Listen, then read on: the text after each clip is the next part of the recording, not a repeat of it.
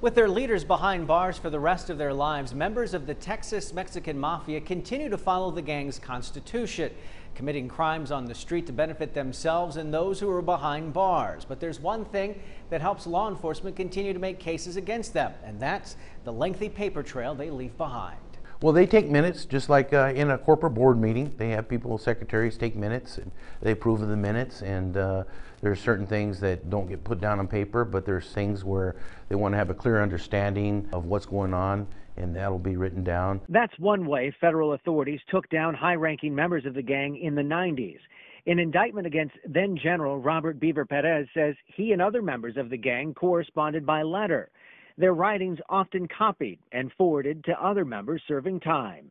In this case, the letters were found stashed around San Antonio, a home on West Craig, letters detailing the gang's power struggle after President Herb Huerta gave a woman known as La Princesa a leadership role.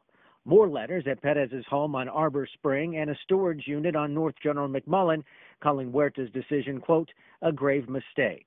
Huerta's alleged response sending orders from behind bars to have rival members killed.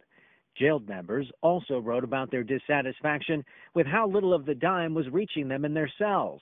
They don't always make their business easy for law enforcement to follow. When you take this off, then you have a written code behind there, which you then have to try to break. Just last year, sheriff's investigators found a ledger in a drug investigation.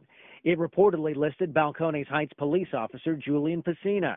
He was murdered a few days later. As far as made members, um, they want to know who the made members are and who is the bad members, members in bad standing. And those people appear on rosters, on hit lists if they're bad, and if they're uh, on the good list, then they don't. They basically are untouchable. They have also found a way to avoid putting things in writing. A lot of times they'll have visitors come up, and so they're doing it verbally or by hand signs.